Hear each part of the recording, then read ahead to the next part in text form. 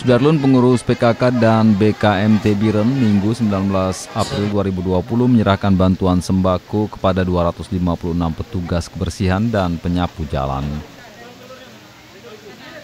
Berlangsung di halaman pendopo Bupati Biren, bantuan juga diberikan kepada pedagang sayur dan pedagang kecil lainnya. Paket bantuan ini berisi beras 10 kg, 2 liter minyak goreng, 1,5 kg gula pasir, satu papan telur, serta masker. Dari Biren Yusmandin Idris, Serambion TV.